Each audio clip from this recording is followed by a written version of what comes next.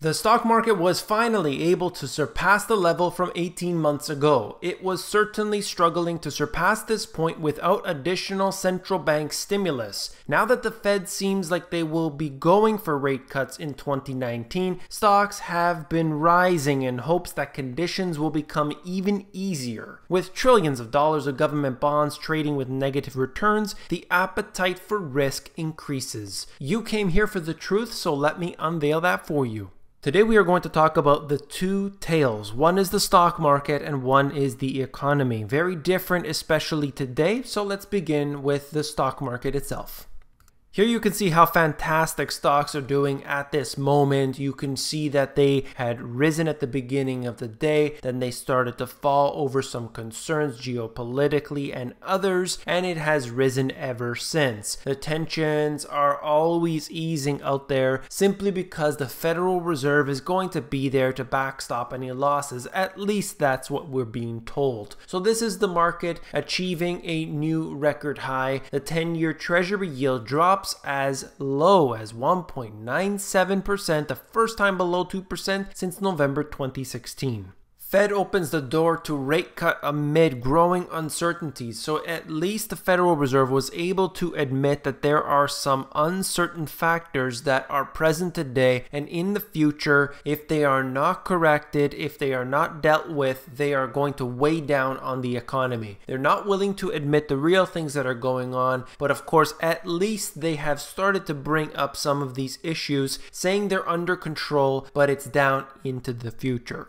The Fed funds rate wasn't the only thing that is seeing some downward pressure, or at least it will in the near future. The LIBOR rate has also come down quite significantly. We are looking at this from the mid 2000s up until present. I just wanted to show you in the previous cycles how this has moved. You could see here for yourself, as soon as they started to bring down the LIBOR rate, that was right around the recession time frame, looking at about 2008, end of 2007. So we we are seeing that today. Of course, nobody knows where it will go. It can turn the other way around and rise higher, but this just shows you where it is at this moment. It was a big change, in fact. You can see that it is the largest daily change. This chart goes back to 2014. So, at least in the last five years, we have not seen the LIBOR move this much. And it moved down quite a bit. This is one important indicator to always keep an eye out for. I like to bring it to you as often as I can whenever there are any significant changes. This tells us what is occurring because there are over $200 trillion worth of financial instruments using the LIBOR to trade, and we are seeing it falling faster and faster. Take a look at global government bonds. We are seeing today that there is a large portion of them trading at a negative yield. You're seeing Switzerland, Denmark, Sweden, Germany, Netherlands, and so on. No matter where you go, you're getting negatives all throughout. That shows you how distorted these markets are. The central banks have reduced interest rates to a point at which they cannot recover from. There are trillions of dollars worth of negative yielding bonds. I'll show you a chart that corresponds to that in just a second, but it is impossible to then fix a future crisis by using the same quote unquote tools that you did last time because they had a problem and let's say maybe interest rates were at 2% or 5%, depending on which country you're looking at, and they would bring them down. They could bring them down to 4% or maybe 2 or 1, bring them down to 0 even. But this time around, they had to bring them into the negative, and now it looks like we're heading into the next crisis. So what are you going to do? You're going to bring them further into the negative? It is a proven fact that negative interest rates really has a floor as to how far you can go, and the benefits of that are not really felt. There hasn't been any study studies or any actual documented evidence to show you that negative interest rates have produced anything at all. This has created a messed up financial system that will have to suffer the consequences. Negative yielding debt hits a new record. So stocks aren't the only thing hitting record highs. Right now, we can see the negative yielding debt index has hit $12.5 trillion. This is extremely high no matter how you look at it. It has broken all previous records, looks to continue. It is going up very sharply. And of course, at this time, there is no possible solution that they can provide to change this. They're going into this territory negative yielding debt. If the investors aren't buying it, then the central banks will probably have to buy it. That tells you that this has gone far beyond reason. Imagine taking all the risk of investing in a particular product, maybe it's 10 year, maybe it's 15, maybe it's 30 year, and you don't even get a positive return. You're guaranteed not to get a positive return. So, regardless of all of that risk that you take, where maybe the government defaults on its debt, maybe it's a partial default, but if you even factor that out, it would seem as though you're going to get a negative return regardless. Very interesting times to say the least. Global government bond yields, excluding the US, at all time lows. This tells you where it is headed. It hasn't been doing this just over the last few months. Take a look further back. Since the financial crisis, even before it, this has been going down further and further. The value of money is definitely declining right now. As you can see here, the risk tolerance is higher and higher. These governments around the world are not able able to provide investors with any form of high yield. And so this is what happens. They are given negative yield in so many cases. Investors have been buying them, but I believe that central banks have been one of the biggest buyers.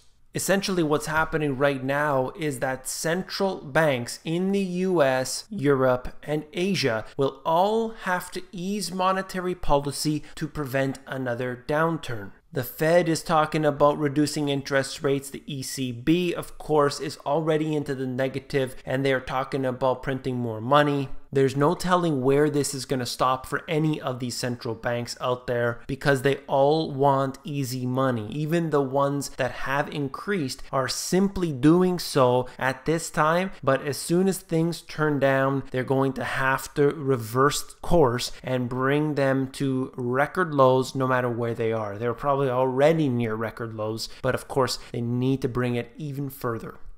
I'm going to show you three real factors about the economy. So we talked about the financial side, talked about the markets, but I want to show you the economic indicators. An index of US freight traffic is deteriorating towards recession levels. Check this out. Tuesday's Cass report raised the recession flag, noting the shipments index as going from, quote, warning of a potential slowdown to, quote, signaling an economic contraction. Economic contraction is a polite way to say recession without actually saying it.